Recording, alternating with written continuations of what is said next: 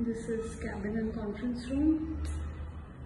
This is the entrance.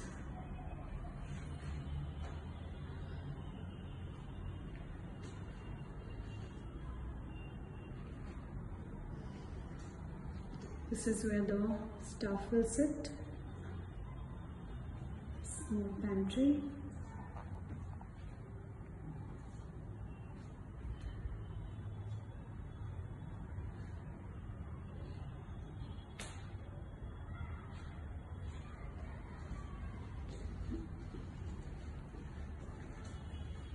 This is the main door.